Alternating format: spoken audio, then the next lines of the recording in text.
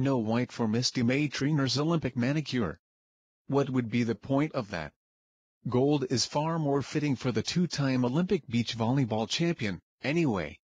May Treanor, who paints her own nails despite a shaky right hand that is only a slight annoyance, plans to tidy up her look now that she and partner Kerri Walsh Jennings are done with pool play and on to the single elimination rounds, which begin Friday night. The U.S. women will have an extra day to prepare before playing Saturday.